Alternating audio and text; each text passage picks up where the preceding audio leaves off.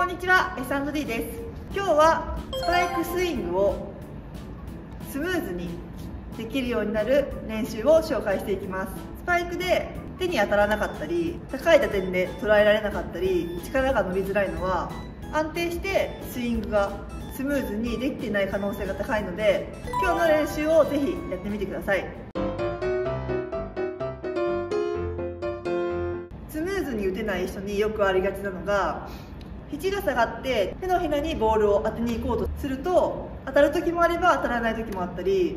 コースが狙いづらかったり点が下がってネットにかかってしまったりするケースが多いと思います。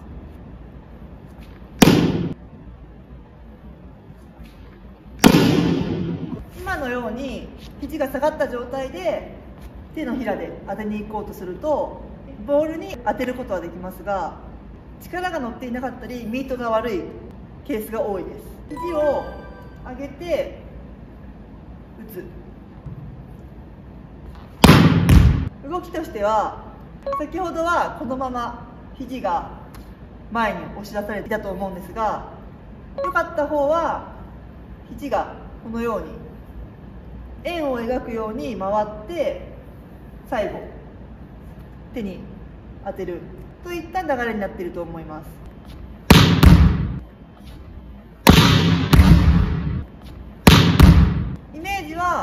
下から押し出すのではなく肘を高い位置に持ってくるイメージです。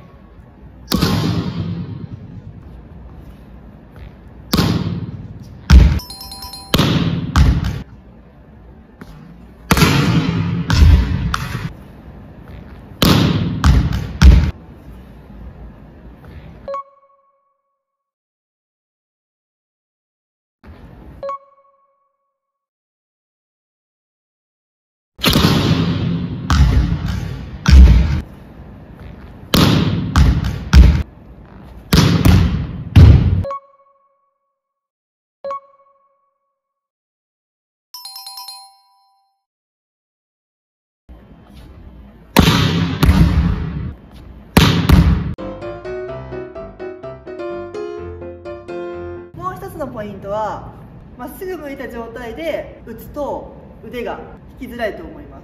なので少し右肩を引いた状態にすると捉えやすくなりますしトスやブロッカーも見えやすくなると思います。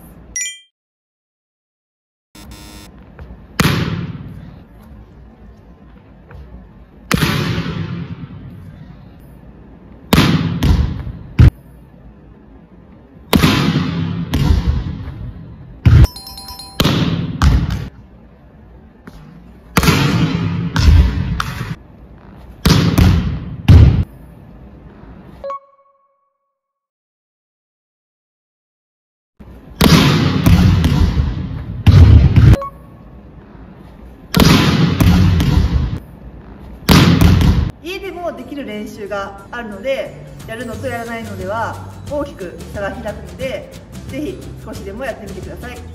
おすすめ動画はこちらから。チャンネル登録はこちらから。インスタ TikTok、Twitter もやってますのでぜひ概要欄から見てください。また次回の動画でお会いしましょう